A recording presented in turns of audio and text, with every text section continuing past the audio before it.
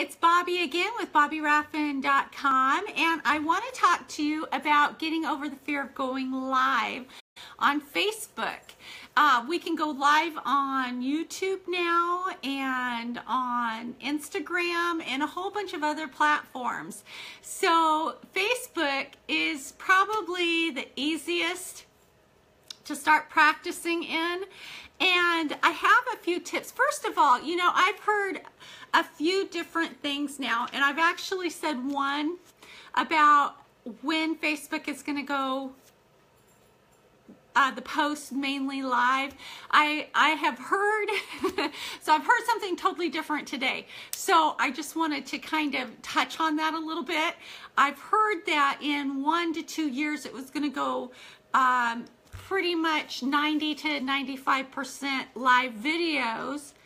And then today I heard in 2020 it will be about 80%. So, you know, just backtracking, let's just go with how it turns out because apparently we don't all know. but the the point is is that it is going towards live videos more and more and more. And the faster that you get into live videos, the more you're going to be up to speed and not have to catch up when the majority are going live. You're going to be right there with them. And that's a good thing, right? So I have some tips for you. First of all, you need to get over your fear. And I have a feeling any moment now my dogs are going to start in. And um, I hope not. I apologize. Real life here. I have three dogs. um, they'd go nuts if I put them in a in a room. So that would probably be even noisier. So my my suggestion to get out of the fear of going live because honestly, if you haven't done a live video yet, it's probably really daunting. And there's a lot of fears with that. But you know what? We fear the unknown the most. And when we do something the first time, it's like, uh, you know, and it's probably sucky and uh, just awful. You do it the second time and it's not so bad. It's not so sucky as much as the first time, and on and on and on, right? Things still may happen though, it's live, and uh, you can't stop your video to edit. Um, like my glasses, you know, I got the glare. It's hard to find a place in my home where I'm not going to have glare on my glasses. So I got to deal with that hopefully you want to want to hear what I have to say more than you're focused on the glare on my glasses, right? so you can have fun with it too. You can bring your personality out and have fun with your live videos. So here are some of my tips, okay? So if you're catching the replay, um, pop a replay down in the comments. Let me know. Uh, I want to I want to say hi to you, and if you like this, if I've offered any kind of value whatsoever, Please share it. That's always fun. And let me know if you do share it so I can say thank you. And so tip number one, and if you're catching the replay, type a number one in the comments. And tip number one is take the focus off of you. Okay?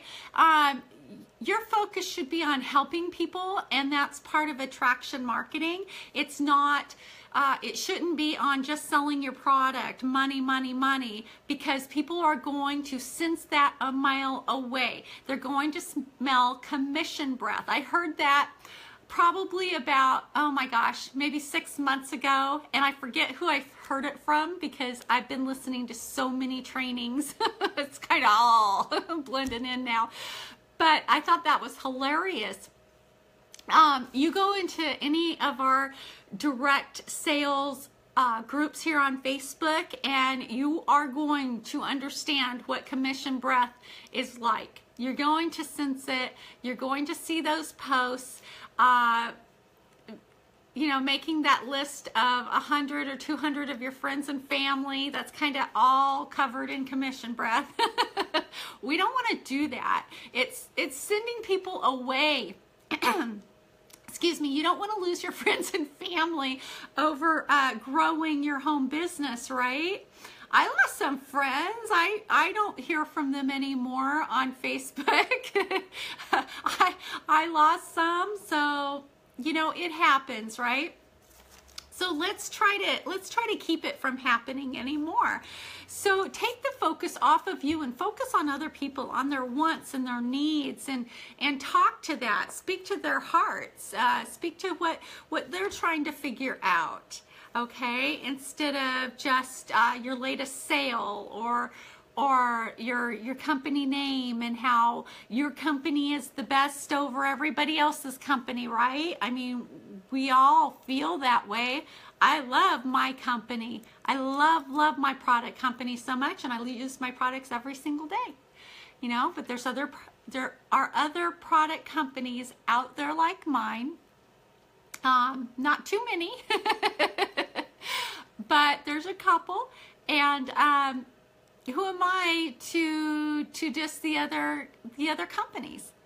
I love mine, and that's what I'm going to stick with. Um, so tip number two, if you're ready for two, type a two in the comments for me. Um, make sure that you take notes before starting your live. Now I have, I, I forget to do this, okay? And I get so, I'm on a schedule. I'm on a tight time crunch if if I have a busy schedule at work, I work from home, but I'm still on a schedule. And if I have tickets, uh, customer service that I need to take care of, that is my priority. And so I do my lives in between those when I'm when I don't have any or when um, our ticket line is at zero, right? So I want to make sure that I'm doing this as quickly as possible and in those intervals so I'm still focusing on my job because it's really important to me. And it's important to my company, right? They allow me to work from home. I need to give them my all. And so I want to be responsible. I've been doing that since 2010 and I want to keep doing that. Um, I really actually enjoy my job. And so sometimes my issue is I I know what I want to say in my head and then I start doing my live and then it's like I get distracted with the dogs or or something is going on outside or I skip in my brain to something else that I wanted to talk about and I totally forget a topic or a point that I wanted to get across and then I get flustered with myself. And so we it's always good to have some notes in front of us. See, I have mine right now. So I'm going over that and there's no issue with that. You know, you're going to you're going to be pinpointed on what you want to talk about and what you want to get across to your audience. And that is a really important thing. You want to be focused, right? You want to have a focused pinpoint topic so you're not going all over the place. It's not being scattered around. Um, so let's see. Tip number three upload to YouTube. You do you start doing live videos and you start getting more and more comfortable with doing live videos and you get a couple that aren't so bad, put them on YouTube. I've got I've got two YouTube accounts. One has all of my just awful bad beginner uh, live videos and videos I've done on my computer that I've uploaded to YouTube. And then I have another account that I'm starting just for my business. And so I put a couple up there as an example because people will want to see where you start from to where you go. So it's not a bad idea to, to actually upload your beginning YouTube or your beginning videos, whether you're just starting lives or not, because people are going to see that progress.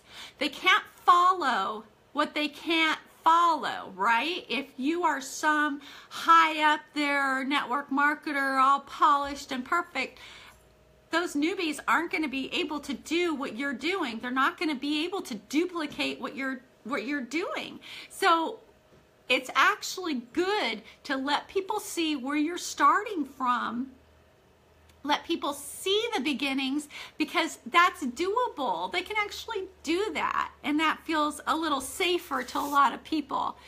And let's see, something else is what I am just starting on now, I just heard about this and it's such a great idea, is to make a plan out. Well, I didn't just hear about it, but I got reminded, I should say, of it.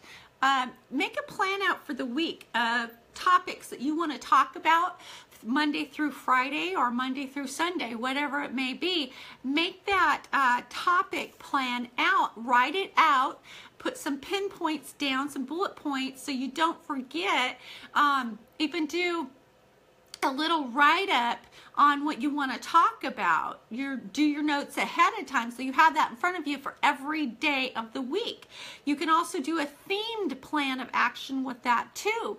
Um, if you're doing like one week you're doing videos. So you talk about doing facebook live videos talk about doing um, computer webinar type videos training videos uh, youtube uploading your videos to youtube. Every single day can be a different topic on that subject line. Or have a week talking about leads um, uh, prospecting um, calling cold leads. I just did a one earlier and it was pretty short, but I did one about calling cold leads and losing the script, you know, just getting to know the people, asking them what they need. I talk way too much with my hands. Sorry about that. I just noticed it.